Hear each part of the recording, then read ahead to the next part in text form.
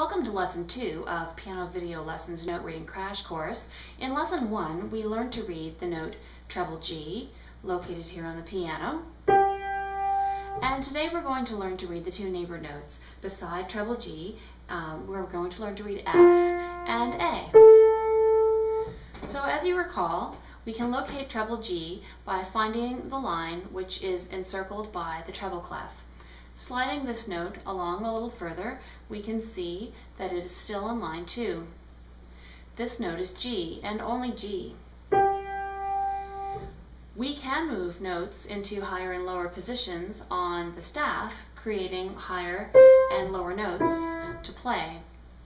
What we're going to do in order to read these two notes is move from G to the note above. So you see that G is a line note and that the center of the note is like a bead on a string. The three notes following G are between two lines. We call this a space note, and this space note is A.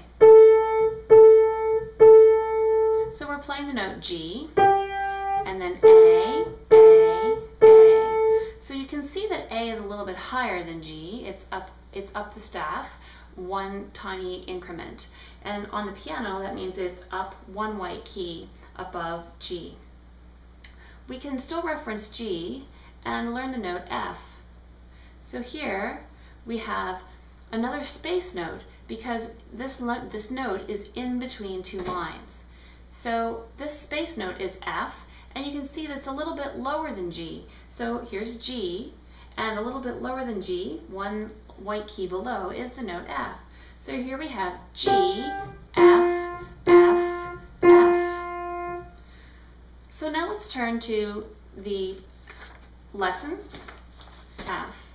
And the first measure, or the first bar of the music, shows finger 3 on G, and it's showing us to play 3, 3, and then we're going to play our finger 2 on F, F. This makes sense because if finger 3 is on G, the finger that is already prepared to play F is finger 2.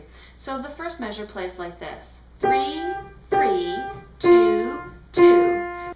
The next measure, we go to the second space note, which is A, playing two Gs and then two As. Starting with finger 3 on G, plays like this.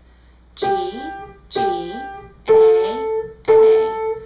Played with finger 3, repeat 3, 4, repeat 4.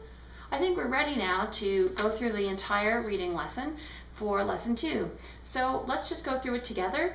I'm going to name the notes that I'm playing. Starting in measure 1, G, G, down to space 1, F, F. Measure 2, G, G, up to space 2, A, A. Measure 3, second line G, then A, G, then A.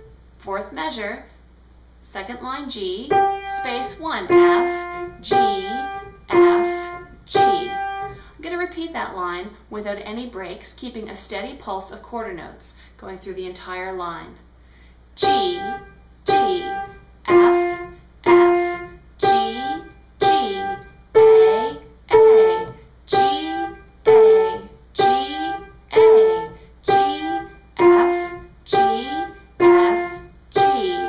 Down to the second line, three on G. G, G, F, G, G, G, A, G, G, F, G, A, G, A, A, G, G, A, G, F. So now to reinforce the learning that we've just done, we're going to recopy the notes from this exercise on the blank staff that's provided in your notes. So the first thing we do is we write out the time signature, which is four quarter time or four four time. And then we begin by writing the note heads. So we make a blob for the note head G, two of those on line two, and then we go down to space one, and we create two note heads there. Then using our ruler, we will make the stems going up from the note like the lowercase letter D and then we'll draw a bar line that goes from the top of the treble staff to the bottom of the bass staff. and I'm also going to write the finger numbers that were used in this exercise. So you can continue on writing out the notes for both lines of music and continue practicing this until you can play it steadily and until you've learned for sure that you know that the note treble clef F is found in space 1 and treble clef A is found in space 2.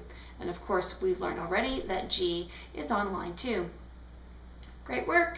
Join us again for lesson 3 where we'll learn to play bass clef F.